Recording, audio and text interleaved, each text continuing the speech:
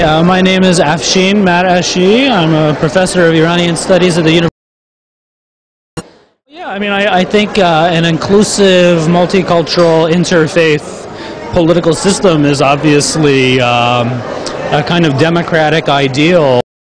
Um, is a goal for you know modern societies all over.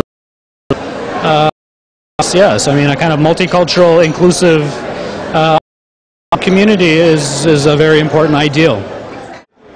Well, I think the problem, bigotry, you know, another universal problem society have to do one way. Congratulations.